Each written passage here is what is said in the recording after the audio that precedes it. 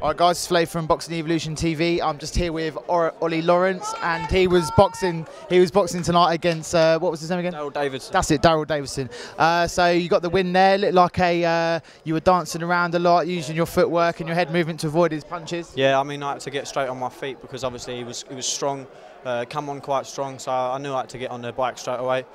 Um, and he, I underestimated him. I thought he wasn't going to be as strong as he was, but he come out and he was determined. He got himself into a good shape. Obviously, he heard about my last fight, my knockout, so obviously he wanted to put some hours in in the gym. And yeah, I just got on my bike, worked on the jab, um, and yeah, just got the win, man. Did you know much about him before you before tonight? Um, I, all I know is that he won his last fight against, um, forget the fella's name now, but he won the fight and uh, he dropped him. So therefore, I knew he was going to bring some ammunition.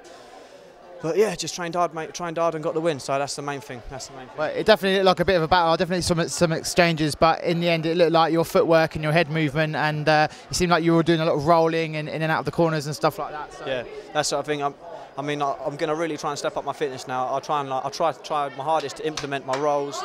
Um, and uh, yeah, basically just just try and get my head moving as much as possible, really. So yeah, happy days.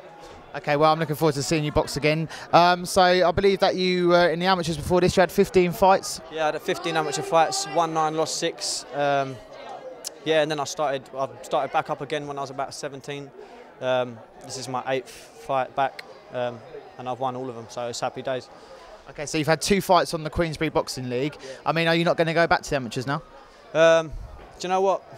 This feels like home now, Queensbury. Um, it's, it's, just it's just a good atmosphere. It's amazing people. Uh, everyone in the crowd's just here for the boxing. You know, it's just such a good vibe. So I think I'm going to stick with Queensbury because that's the way that it seems to be going right now.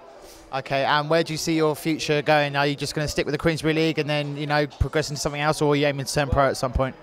I mean, obviously, my, my goal in life is to, to be a professional boxer. Um, so yeah, I'm going to try and stick on the Queensbury till as long as it takes, and then if this if the if, if it occurs to me to go, for me to go pro, then obviously I'll dive on it. But until then, I'm just going to stick with Queensbury.